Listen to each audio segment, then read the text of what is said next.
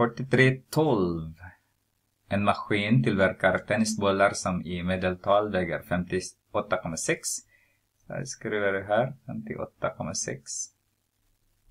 Och vi skriver gram här på sidan.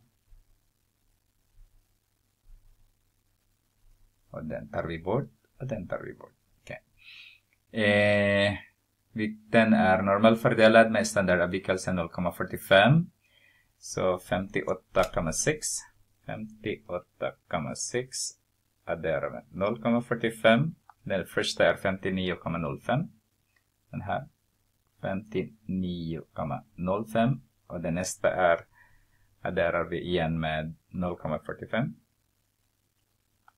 Här har vi 59,5. Här under där nu då. 59,5.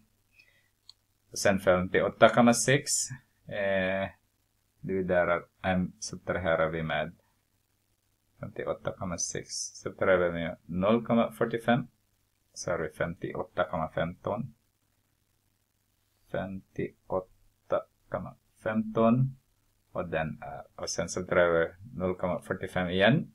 Så har vi 57,7 så där under då. 57,7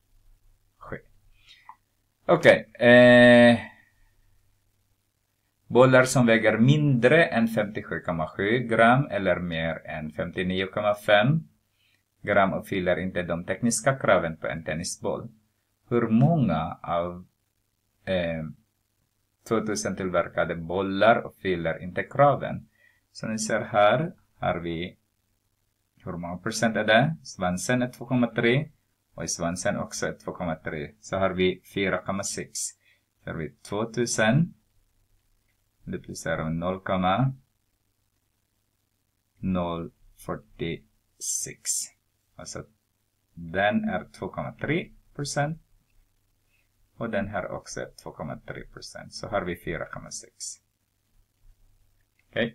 så har vi 0,046 multiplicerat med 2000 lika med 92 stycken. Så varenda gång eh, varje tusen är 46 om man säger så. Stycken. Som, är, som uppfyller inte kraven.